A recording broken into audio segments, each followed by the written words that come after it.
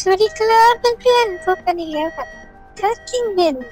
วันนี้เบนจะมาทดลองวิทยาศาสตร์ที่น้ำเลือด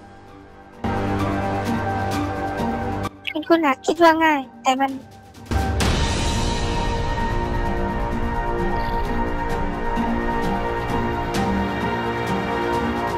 ต้องคิดดูก่อน มาดูภาพที่ดีกันอีกสักครั้ง